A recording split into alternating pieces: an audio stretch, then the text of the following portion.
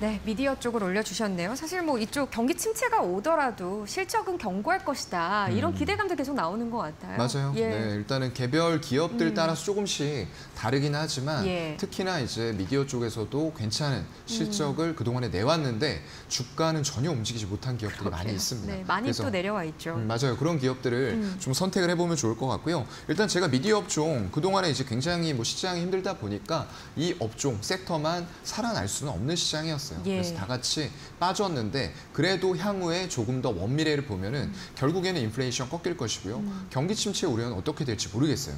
일단 조금 더 지켜봐야 될 부분들인데 결국에는 시간이 지나면 이런 것들도 해결이 되고 미국이 급격하게 금리 인상을 했던 만큼 부작용이 나오면 그걸 또 금리 인하와 유동성을 풀면서 음. 해결할 거거든요. 그렇게 됐을 때 어느 쪽을 우리가 선택을 해야 되는가 이런 관점으로 말씀을 드리는 거니까요. 예. 참고하시면 좋을 것 같고요. 일단은 K 콘텐츠 어, 글로벌 위상 굉장히 높습니다. 음. 뭐 K-팝 이런 쪽에서 시작이 됐고 오징어 게임이라던가 이런 쪽들로 옮겨오면서 정말로 불을 붙인 것 같아요. 그런 것들이 계속 지속이 돼가는 그런 분위기고요. 일단 자체 역량으로 이 IP라고 하는데요. 지적 재산권이에요. 이걸 직접적으로 개발할 수 있느냐 아니면 다른 쪽 걸 가져와서 쓰고 로열티를 줘야 되느냐 이건 굉장히 차이가 크거든요. 예. 그런 개발 역량을 가지고 있는 이런 기업들이 점점 더 한국에서 많이 나오고 있다. 긍정적인 부분이고요. 관련 업종 내에서 일단은 많이 벌었던 돈들을 가지고 회사의 유보를 쌓아놨다가 M&A라던가 이런 쪽으로 관련 산업들을 적극적인 인수 행보를 보이는 기업들도 꽤 많이 있어요. 예. 결국에는 영토 확장을 하면서 사업 포트폴리오를 넓혀 나가겠다라는 부분들이거든요. 굉장히 또 이런 세 가지 부분들은 긍정적으로 미디어 업종들에 작용을 할 것 같습니다. 네, 우리 시장에서 보면 뭐 독보적인 기술, 뭐 맞아요. 그게 정말 중요하기도 하잖아요. 네. 자체 IP 그런 내용도 좀 설명을 해주셨고 네. 현재 흐름들을 좀 보도록 하겠습니다. 오늘 에이스토리 13%까지 치고 올라가고 뭐 지금 대원 미디어도 그렇고요. 상승력 올라가는 좀 그런 종목들도 꽤 있거든요. 음. 맞아요. 예. 어, 오늘 굉장히 좀 강하게 잘 음. 버텨주고 있는 상황인데 지수는 일단 좀 빠지고 있네요. 안타깝게도요. 제가 오늘 말씀 좀 드리고 싶은 종목은 대원 미디어예요. 음, 네, 실적이나 이런 부분들 굉장히 좀 선방을 잘 해줬고요. 예. 올해에도 사상 최대 실적이 예상이 되고 있습니다. 1분기에도 굉장히 실적을 잘 냈고요. 음. 일단은 보게 되면은 내용이 만화 쪽이라던가 미디어 이런 쪽들에서 좀 특화가 돼 있어요. 그래서 뭐 아시는 분들은 아실 텐데 떠돌이까치, 달려라 하니 이런 쪽들을 제작을 했던 제작사입니다. 예. 네, 굉장히 좀 오래됐죠. 그리고 최근 친구들은 유희왕 이런 쪽으로는 좀 아실 거예요. 그리고 터닝메카드 이런 쪽은 아실 겁니다. 공룡도 일본- 있잖아요. 아, 맞아요. 네. 네. 그 아머드 사우루스라고요. 이제 제가 말씀드리려고 했는데 먼저 말씀을 아, 해주셨네요. 네. 조카가 있어서. 아, 그러시군요. 예. 네. 1분기에 실적 보게 되면 매출액이 한 790억 나왔어요. 한 3.6% 전년 동기에서 어, 증가를 했 영업이익은 78억이 나오면서 전년 동기 대비 100%가 넘는 증가율을 보였어요. 굉장히 영업 레버리지 효과가 톡톡히 나오고 있는 그런 실정이고요. 어, 작년 영업이익에 한 해 영업이익의 63%를 1분기 만에 달성을 했어요. 그래서 올해 사상 최대 실적이 점쳐지는 부분들 있고요. 그런 것들을 가시화해 줄 만한 요인들이 충분히 있습니다. 일단은 유통 쪽의 비중이 아직까지 좀 크긴 해요.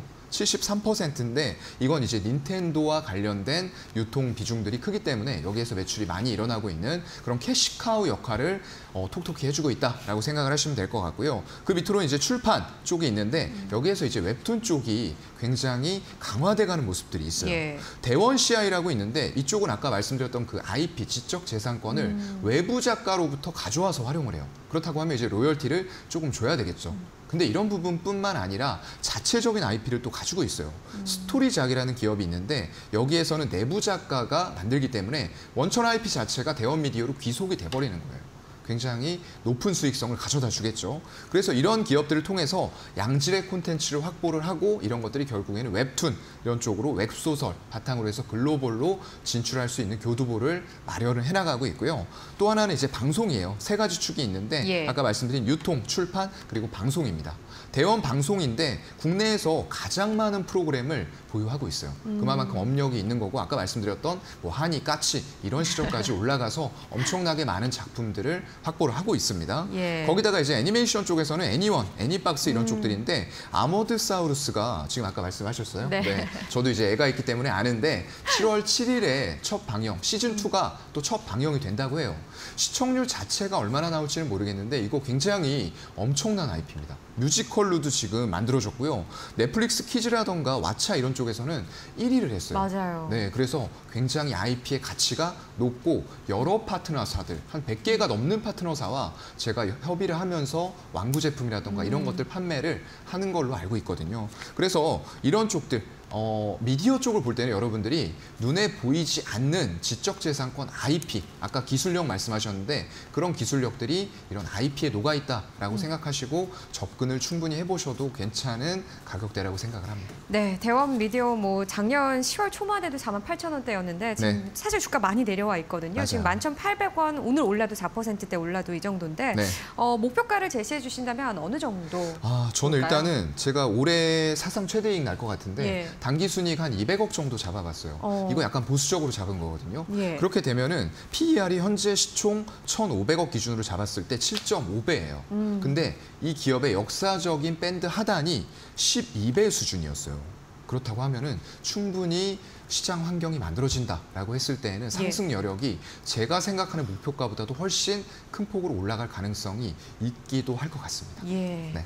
자 그렇다면 매수 시점은 지금부터도 분할 매수 관점 가능하다 보시는 것 같고 그러면 목표가를 보신다면 한 뭐 2만 원뭐 일단은 조금 내려서 18,000원 잡아보고요. 18,000원, 네, 예. 시장이 안 좋으니까 너무 높게 잡았다가 욕 먹는 경우가 있거든요. 18,000원 잡아보고 도달하면은 상황 봐서 추가적으로 상향하도록 하겠습니다. 네, 알겠습니다. 최대 실적이 나올 것으로 기대되는 대원 미디어 알아봤고요. 어, 목표가 18,000원으로 일차적으로 드려보겠습니다. 오늘 말씀 고맙습니다. 네, 고맙습니다.